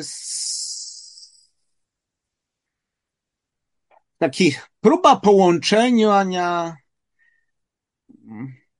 etatyzmu z neoliberalizmem, o tak to nazwijmy, o tak to, i to niezbyt wyszło, nie? To znaczy, e, pamiętajmy, znaczy tutaj jest, się trochę teraz zawieszam, bo zastanawiam się, jak to dobrze opisać. Pamiętajmy, że RPA zawsze było krajem zdominowanym przez wielkie korporacje. Czy to były korporacje prywatne, takie jak Anglo American czy De Beers, nie? Czy były to korporacje państwowe, takie jak, nie wiem, e, Sasol czy Armscor, e, to tak naprawdę była to gospodarka o bardzo dużym stopniu monopolizacji. Zawsze. Na czasach apartheidu także. Nie? No i teraz jest tak, że y, jak ruszyć taki system, w którym, no przecież chodzi nam o to, żeby na przykład ludzie, e, żeby ludzi wyprowadzić ze slumsów i żeby mogli zafunkcjonować w normalnych warunkach. I to było taki właśnie, z jednej strony próba używania etatyzmu, z drugiej strony mm, takie hasła neoliberalne, bo to, co trzeba Mbekiemu jednak oddać. I to było za Mbekiego, że rzeczywiście Mbeki mm, zgodził się na, pewne, na, na pewną liberalizację ekonomiki. Ja pamiętam, że jak pierwszy raz byłem w Kapsztadzie, E, to było jeszcze, jeszcze Mbeki był prezydentem i ja pamiętam, rozmawiałem z takim koloredem, e, który właśnie ten, i to był wtedy w zachodniej prowincji przylądkowej, zresztą nie tylko, gigantyczny boom przemysłu turystycznego, gdzie rzeczywiście cała masa ludzi inwestowała w bed and breakfast to, co my byśmy nazwali agroturystyką. No to nie była nasza agroturystyka, no bo to na przykład było w Kapsztadzie, no trudno w mieście agroturystykę uprawiać, ale były właśnie tak, oni korzystali z tego, że rzeczywiście w tamtych czasach, potem pojawi się jeszcze inna grupa, ale w tamtych czasach na przykład była cała masa turystów z Wielkiej Brytanii i Niemiec, które właśnie lubili w sezonie e, bożonarodzeniowo-sylwestrowym jechać do południowej Afryki bo tam dzień długi, akurat środek lata, miło, ciepło, przyjemnie, fajne morze, fajne widoki. Rzeczywiście, i rzeczywiście jest taki okres, znaczy właśnie to już jest końcówka e, rządów Bekiego, jest taki okres, kiedy, na przykład mówię o Kapsztadzie, to jest moje doświadczenie, była taki, mówię wręcz boom na, na, na pewne elementy przemysłu turystycznego, nie? gdzie rzeczywiście ludzie często zadłużali się, żeby założyć motele, jakieś właśnie takie bed and breakfast, które oferowały naprawdę czasami bardzo fajne warunki za jak na warunki europejskie umiarkowane pieniądze i rzeczywiście facet, którym rozmawiałem był cały taki ten, że to właśnie fajnie będzie się rozwijać, wreszcie jakaś coś się rozwinie, będzie fajnie, będą pieniądze, ludzie będą zarabiać i tak dalej. I rzeczywiście to, jak się wydaje, była w dużej mierze zasługa Bekiego i jego doradców, którzy mm, uznali, że taka mieszana ekonomia, nie, której na poziomie ogólnokrajowym mamy no nadal ten system monopolii, nazwijmy to w ten sposób, ale na poziomie lokalnym dopuszczamy dość swobodny rozwój biznesu, że to się sprawdzi. E, I Becky jest taki, znaczy to jest taki dość klasyczny przykład. On znowu my znamy z naszego kraju y, przykłady nawróconych marksistów, którzy stawali się piewcami neoliberalizmu. To jest dokładnie podobny, może nie ten sam, ale bardzo podobny kazus. Nie? Eee,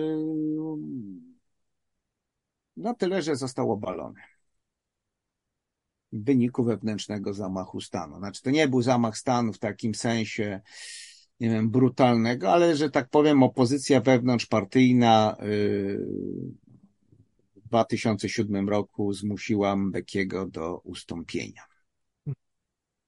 Zastanawiam się, panie profesorze, jak tu lądować powoli, tak? bo biorąc pod uwagę yy, to, co się dzieje w tym kraju, yy, tak myślę, nawet biorąc pod uwagę współczesne wydarzenia. Później to jest tylko właściwie czas rozczarowania chyba tylko y, Afrykańskim Kongresem Narodowym. Tak, znaczy to jest tak, że rzeczywiście Mbeki był chyba ostatnim, jakby go nie ocenić, bo myślę, że jego ogólna ocena będzie dość krytyczna, ale rzeczywiście był ostatnim człowiekiem, który miał jakiś pomysł, pomysł, który czy by się sprawdził, gdyby dano mu do końca go zrealizować? Nie wiem. Możliwe, że nie. To, to jest pytanie otwarte, które kiedyś tam może e, będziemy w stanie na nie odpowiedzieć, ale mm, to się okaże. O tak to nazwijmy, nie? E, natomiast e, ważne jest to, że no on rozbił się o pewien układ wewnątrzpartyjny. To znaczy on postanowił, jego wiceprezydentem był Jacob Zuma, e, który był niewątpliwie człowiekiem skorumpowanym, ale jednocześnie bardzo popularnym i lubianym, e, i którego Mbeki próbował usunąć. No, okazało się, że Mbeki nie jest w stanie usunąć Zumy, natomiast Zuma jest w stanie usunąć Mbekiego. Znaczy, to, to wyszło ta rzecz, o której mówiłem. Mbeki był obcy w pewnym sensie, przez to, że tyle lat spędził za granicą, e, że miał taką pozę, która dobrze wyglądała na arenie międzynarodowej, takiego bardzo eleganckiego, czarnego dżentelmena. Paradoksalnie to sprawiało, że na miejscu wśród jego zwolenników on nie był popularny. Czy on był kimś nie z tej bajki trochę. Zuma miał swoje wady, był, e, ten, ale był swój. To był swój chłop, który z nimi cierpiał, z nimi przeżywał różne rzeczy. On też oczywiście, e, to nie jest tak, że ten, ale który rzeczywiście był, e, z którym mogli się utożsamić. Tyle, że Zuma był też przykładem tego, co się zaczęło dziać w południowej Afryce. Pytanie kiedy? Czy od razu po 94? Czy później? To nie wiem, jak, kiedy to, a może jeszcze przed 94 rokiem. To znaczy skorumpowania systemu. To znaczy takiej rzeczy,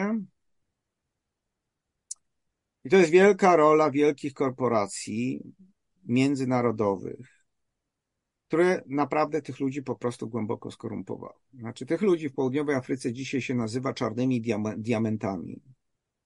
To są ludzie, którzy podostawali stanowiska w radach nadzorczych, e, w ciałach jakichś tam kierowniczych wielkich korporacji za nic. Znaczy, oni tam byli jako paprotki. Nie? Oni tam, ja nie mówię, że wszyscy oni nie mieli żadnych kompetencji, pewnie wśród nich jakaś część była ludźmi kompetentnymi, tutaj nie o to chodzi, ale zasadniczo dostawali te stanowiska, bo byli ważnymi, mniej lub bardziej ważnymi członkami Afrykańskiego Kongresu Narodowego. E, w związku z tym byli pewną przekładnią na Afrykański Kongres Narodowy. E, no i dostawali jako członkowie rad nadzorczych czy innych ciał e, kierujących korporacjami sowite pensje. No i się korumpowali. No, po prostu. Znaczy, no, klasycznym przykładem był sam Zuma. Ja pamiętam, akurat wtedy byłem w południowej Afryce, e, to był rok 2013 e, tak, w 2013, byłem zresztą w KwaZulu Natalu, no Zuma był Zulusem, więc e, tamten. E, już wtedy stracił całą swoją popularność, już wtedy nie był popularny. I pamiętam na przykład wystąpienie pani premier, jakiej minister z rządu, która na pytanie kogoś w parlamencie, dlaczego rząd przeznaczył panu Zumie ileś tam, już nie pamiętam jaka to była suma pieniędzy na budowę basenu, E, a pani mówi, ale to był basen przeciwpożarowy e, i chodziło o bezpieczeństwo osoby prezydenta w jego siedzibie i to jest uzasadnione, na co któryś deputowany, i to trzeba oddać RPA ciągle pod tym względem, jest krajem wolności, że rzeczywiście ta krytyka władzy jest i jest dopuszczalna, istnieje i funkcjonuje. Nie? To, to trzeba oddać, nie? nawet dzisiaj. E, ale, y, ale wtedy ktoś tam deputowany zadał pytanie, no dobrze, no ale jeżeli to jest basen przeciwpożarowy, to dlaczego jest z marmuru? Nie, więc e, a on se kazał zbudować taki potężny olimpijski 50-metrowy basen, nie, więc i tam więc no, to był taki symbol tylko, bo z drugiej strony mógł ktoś by powiedzieć, miałby rację, że w sumie ten basen to jest najmniejszy problem, bo tam tak naprawdę znacznie większe problemy były na zupełnie innym poziomie, nie? Ale to nie zmienia faktu, że to, do czego doszło e, w pewnym momencie, pytanie, kiedy to się zaczęło, to jest korupcja. W tą korupcję w którymś momencie obok korporacji międzynarodowych weszły także Chiny, e, które jak wiemy zaczęły budować sobie przynajmniej od początku XXI wieku pozycję w Afryce. Pamiętajmy, RPA jest ciągle źródłem wielu ważnych surowców. Może akurat nie ma metali ziem rzadkich, ale uran ciągle światu jest potrzebny, platyna nadal też jest fajna i potrzebna. Złota coraz mniej wydobywają, ale mają inne za to rzeczy, które wydobywają. Diamenty też są i przemysłowe, i, i nie tylko potrzebne na świecie. E, I rzeczywiście jest tak, że ten kraj oferuje, ciągle ma do zaoferowania dużo. A Chiny, jak wiemy, bardzo aktywnie uprawiały tę politykę. Co więcej, na przykład też zauważyłem w którymś momencie, i to też przy, który, przy drugiej swojej wizycie już w Kapsztadzie w 2014 roku, zresztą narzekał wtedy ten człowiek, że na przykład o ile jeszcze jak byłem pierwszy raz, no to głównie większość, czyli to był tam połowa lat, ten 2008, no to gro, gro turystów to byli Niemcy, Brytyjczycy, Kanadyjczycy i tak dalej. O tyle na przykład gdzieś tam po 2010 gro turystów to byli Chińczycy. Olbrzymia e, ruch turystyczny Chińczyków, który z różnych względów w 2014 przeżywał kryzys, no ale to jest osobna kwestia. Ale tak czy inaczej jest tak, że rzeczywiście mamy do czynienia z korupcją systemu, jego takim gniciem tak naprawdę. Znaczy tu nie mamy do czynienia ani z autorytaryzmem, bo tego tam nie ma. Czy cały czas w parlamencie rząd jest krytykowany, głośno krytykowany, y, media to robią, jakby nie ma. Znaczy tego problemu braku, że tak powiem, swobody wypowiedzi, śmiem twierdzić, że nie ma, nie? Że, że jest tak naprawdę większa swoboda wypowiedzi niż w wielu krajach, które uważamy za znacznie bardziej demokratyczne. Nie? To jest raz. Dwa, więc nie ma autorytaryzmu. Jest, ma pan rację, coraz głębsze poczucie rozczarowania. To znaczy, no bo przez, przez w ciągu pierwszej dekady można było mówić, no dobra, to jest tylko 10 lat ale od 94 roku minęło już prawie 30 lat. I tak naprawdę sytuacja biedoty nie tylko, że nie jest lepsza, jest gorsza. System gnije, znaczy to widać także w wyborach, znaczy w czasach Tabombekiego i przy pierwszych wyborach Zumy kongres zyskiwał, no bo mm, w 99 zdobył dwie trzecie głosów do parlamentu, E, w kolejnych wyborach, e, w 99, ale później w kolejnych wyborach też, przy pierwszych wyborach sumy chyba, sumy chyba, już nie pamiętam, musiałbym sprawdzić teraz, bo mam, teraz zobaczymy, w 2009 nie, nie pamiętam, zaraz powiem, nawet doszedł do prawie 70%. E, a już w 2014 było 62%, a w ostatnich wyborach było 57%. I to jest symbol gnicia. Znaczy, to, znaczy mamy do czynienia z systemem gnijącym. Afrykański Kongres Narodowy właściwie do 2013 roku, a tak naprawdę nawet trochę później, e, miał poczucie, że nie ma konkurencji. Większość walk odbywała się wewnętrznie. Widezuma, który usunął tak naprawdę Mbekiego. E, cały czas rządzi to samo pokolenie, bo mamy teraz jest Cyril Ramparosa, który był wiceprezydentem przy Zoomie, który to nie jest głupi człowiek w sensie braku wykształcenia czy coś. Ale to już jest człowiek, który ma teraz, aż sobie sprawdzę, który ma, urodził się, e, no to jest teraz osoba 70, 70 ponad 70-letnia. No ktoś by powiedział, no bez przesady, Ronald Reagan był starszy, a był całkiem sprawnym prezydentem, to prawda. No ale to jest ważniejsze coś innego. On należy de facto do tego samego pokolenia, co Mbeki czy Zuma. E, znaczy ludzi trochę ciągle żyjących przeszłością, nie?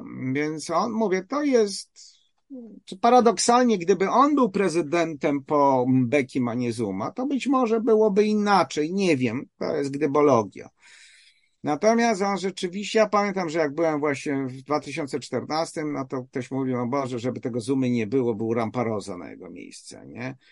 E, bo przynajmniej byłby ktoś ogarnięty, nie? Więc, e, bo Zuma okazał się być bardzo prymitywnym człowiekiem, no już nazwijmy to wprost. Natomiast no, Ramparoza nie okazał się być znacznie sprawniejszy i lepszy, to nie o to chodzi.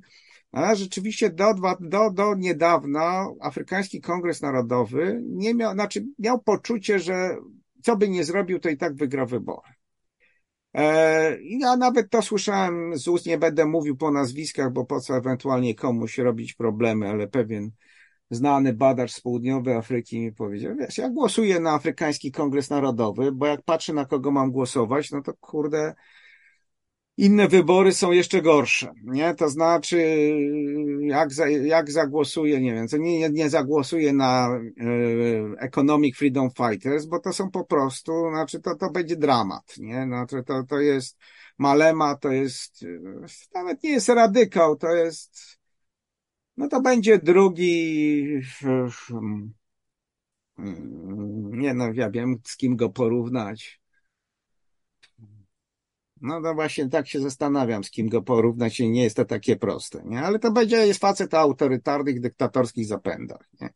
który korzystając z populizmu po prostu wprowadzi zamordyzm i już, bo jest typowym populistycznym przywódcą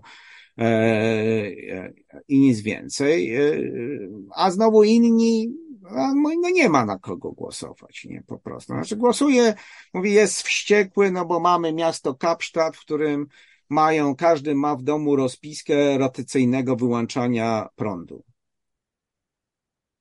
Mają rotacyjne wyłączanie prądu, nie? Bo, nie, bo infrastruktura jest tak zaniedbana, że, że po prostu się sypie, nie? Że, że, że ten. I, i, i, i zamiast naprawić to, zrobić coś z tym, no to rotacyjnie się wyłącza prąd, nie? żeby nie było, że zawsze wszędzie, więc hura, nie? Więc jest rotacyjnie. Nie? Tylko, tylko wiemy, że to do niczego nie prowadzi. Znaczy, jak ktoś tego nie naprawi, to, to, to, to niedługo będzie, że rotacyjnie będą włączać prąd, bo bo to do tego dojdzie. Nie? Ja pamiętam zresztą ten problem już w niektórych miejscach był widoczny w 2013 roku, jak byłem właśnie w Kwazulu Natalu, byłem w Petermarisburgu w takim niezłym bed and breakfast i pani mówiła, że jest cała szczęśliwa, że jest podłączona, że ona leży na linii energetycznej podłączonej do szpitala, bo w związku z tym jej rzadko wyłączają prąd. Kapsztadzie jeszcze wtedy tego problemu nie było. Jeszcze nie było. Znaczy był, ja pamiętam, byłem później, rok później w Kapsztadzie i byłem tam przez miesiąc. Chyba raz się zdarzyło, że był wyłączony prąd. No to, to może się zdarzyć zawsze i wszędzie, nie w różnych sytuacjach. Nie? Natomiast e, teraz, no to jest regularnie w ciągu tygodnia prąd jest wyłączany tam ileś razy, nie? E, tyle, że rzeczywiście jest taka podana rozpiska i każdy w zależności gdzie mieszka, to wie, nie wiem, kiedy będzie wyłączony prąd, no to w związku z tym może się na to przygotować. Nie? No w tym sensie jakoś to tam funkcjonuje. Natomiast nie zmienia to faktu, że rzeczywiście mamy do czynienia e, z państwem gnijącym, po prostu. To znaczy kraj, który jeszcze powiedzmy półtorej dekady temu mógł uchodzić w Afryce za w miarę, znaczy za po, po, po potęgę lokalną, no dzisiaj jest w jakiejś mierze chorym człowiekiem Afryki. Może nie takim stopniu, jak kiedyś była Turcja Osmańska, nie wiem, e, w Europie, czy, czy, czy ten, bo bez przesady, Ale jeżeli się nic nie zmieni, no to idzie w tym kierunku. To znaczy, to jest taki kierunek, znaczy ewidentnie widać po Afrykańskim Kongresie Narodowym współczesnym, że nie wie, co zrobić. Znaczy, to jest tak na przykład zgoda na ten postulat Malemy przymusowego wywłaszczenia białych właścicieli, e, która mm, odbiła się pewnym echem jeszcze przed naszą pandemią, prawda? Pandemia zresztą też w południowej Afryce znacznie cięższa, przy, przy, znaczy mm, bardziej ją dotknęła niż na przykład nas, e, dlatego że nie ma żadnego systemu, który by o to zadbał. Nie wiem. Jeszcze jeden przykład zaraz podam, ale to za chwilę.